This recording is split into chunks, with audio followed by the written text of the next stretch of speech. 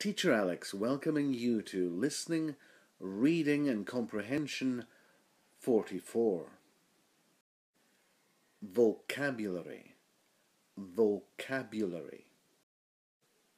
Clear, wallet, savings, villager. The whole village soon learnt that a large sum of money had been lost. Sam Benton, the local butcher, had lost his wallet while taking his savings to the bank.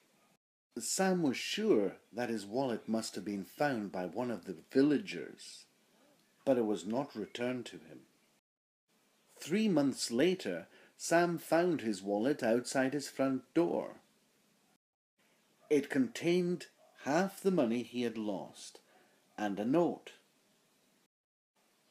The note said, A thief, yes, but only 50%. Two months later, some more money was sent to Sam with another note that said, 25% a thief.